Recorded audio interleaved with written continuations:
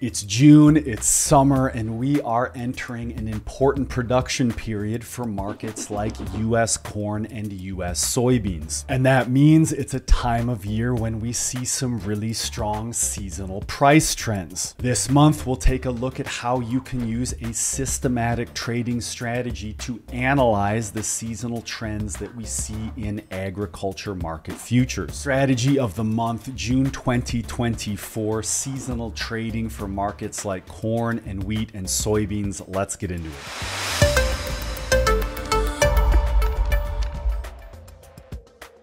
Hi, everyone. It's Dave Whitcomb from Peak Trading Research, and this is our 30 second consecutive strategy of the month video. And because it's summer, it is a great time to talk about trading seasonals. Now, you might remember that we've already talked about trading seasonal patterns on this channel in a video called Trading Price Seasonals, which you can click here to watch. But it's a good time of year to revisit that code and that trading approach and take a look at the signals signals that those trading systems are sending us for agriculture markets like corn and soybeans and wheat. So as we always do with these strategy of the month videos, we'll start with the full system code logic. We'll add that code to a commodity market chart, and then we'll wrap up with some performance statistics to see if this trading approach makes sense. So let's get started. Let's jump into the fun stuff and look at the full system code logic for our seasonal trading approach. Now we are going to do something unique and instead of building this code in the EasyLanguage development environment in TradeStation, we are just going to build this code in Excel. Now the reason we're doing that is because we want to use this Excel equation to feed off of values in column C. So to test different start dates. What this code is going to be doing is it's going to be testing if it makes sense to sell short because we know that there is generally a bearish trend during the US summer months as we price out a production risk premium. We're going to be testing if it makes sense to sell short before or after these different June 1st dates going back in time, going back all the way to 2020. So what we can do is we can simply take this code from Excel, open up our development environment, paste it in and confirm our strategy. So how does this trading system work? This trading system is testing if a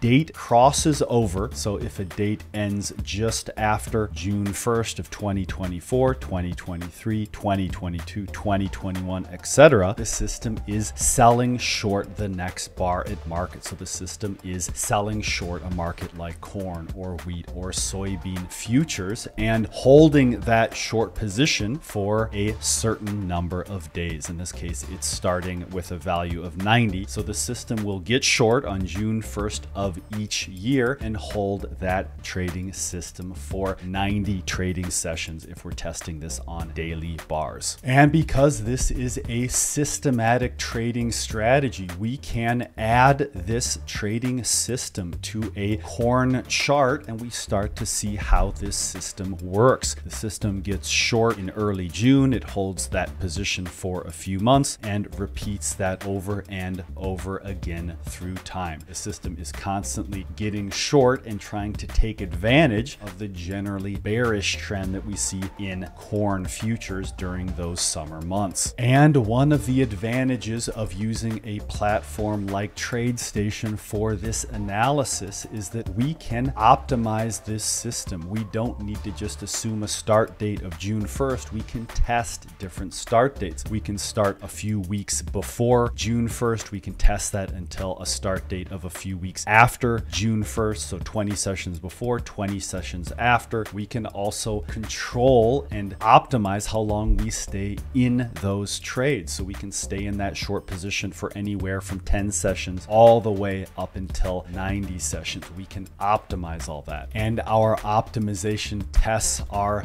done running. And if we sort by net profit, we can see that historically, based on data since 2000, the most profitable approach has actually been to short corn futures nine sessions after June 1st, so about mid June, and hold that short position for 78 trading sessions. That gives us an equity curve that looks like this. So, this has generally been a profitable approach to trading corn futures is to sell in mid June and again hold that short position for 78 trading sessions. Now, two things I want to make sure to point out here is this system does have drawdowns. This system does not have a stop loss. It doesn't have any risk management. Its only exit is to get out after a certain number of bars, in this case days because we're using daily bars. Other thing I want to point out is that we are using a custom contract. A lot of times on this channel we use the continuous contract, but in this case we are using a custom contract that points to the December contract. So this system only trades December corn futures. We could test that on different futures contracts, but in this case, you don't want to have to be rolling your contracts. You should just be choosing a static contract like the September contract or the December or the March contract. Now, this simple seasonal trading system for corn that sells short corn futures in mid June and closes that short position 78 trading sessions later, sometime in mid October, has shown that it's consistently profitable. This system has made positive profits in 19 of the past 23 years. That's an 83% win rate. And the good news is we can apply this selling short seasonal trading approach to other US row crop markets. For example, in the Chicago wheat market, this selling short seasonal trading approach has worked in 18 of the past 23 years. In Kansas wheat futures, it's worked in 13 of the past 16 years. And for the US soybean market, it's worked in 19 of the past 23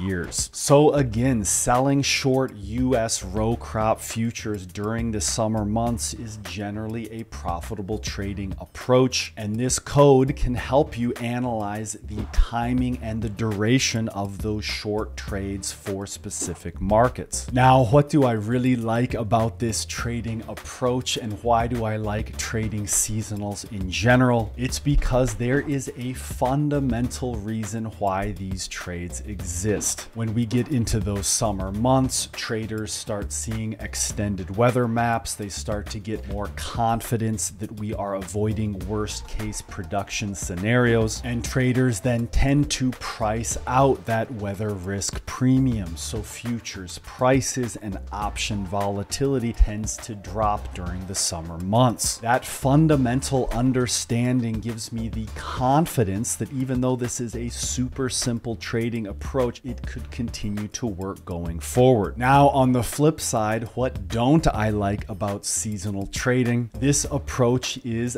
by definition over optimized. We are simply taking 20 years of data, we're optimizing what's the best date to get in, we are optimizing how many bars we should stay in that trade. There is no out of sample testing. It is burning through all of our data in sample. And we always say on this channel that out of sample performance is the gold standard by which you should evaluate a systematic trading strategy for these seasonal trading approaches. There is no out of sample performance. We are strictly evaluating this in sample. So all that said, do I think the positives outweigh the negatives? Absolutely. I think that the summer months are generally a good time to consider selling short markets like corn, Chicago wheat, Kansas wheat, and soybeans. So let me know in the comments below what do you think about seasonal trading? Is there